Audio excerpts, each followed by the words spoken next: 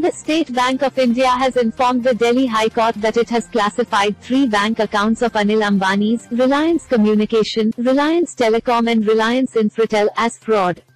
The development can bring serious trouble for Anil Ambani as now the bank can move for a banking fraud investigation by the Central Bureau of Investigation.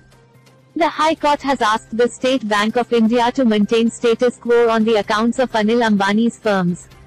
A bank account is declared fraud after it turns non-profitable assets NPA. The State Bank of India informed the court that during the audit, they have found misappropriation of funds, diversion and siphoning of funds after which they have classified the accounts as fraud. As per the rule, once the bank has declared any account as fraud, the Reserve Bank of India RBI has to be informed in 7 days and a complaint has to be filed before the Central Bureau of Investigation within 30 days of informing the RBI against the firms if the amount is of above 1 crore rupees.